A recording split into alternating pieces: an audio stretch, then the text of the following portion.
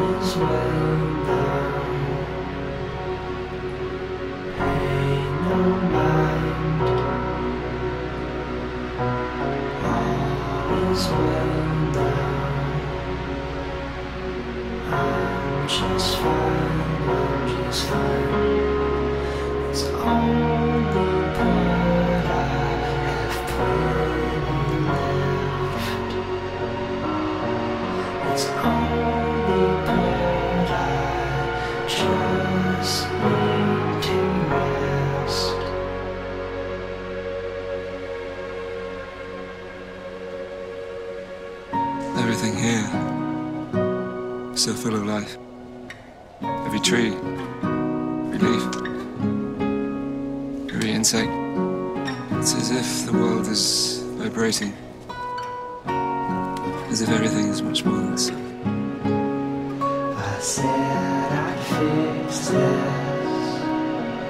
I'd set things straight.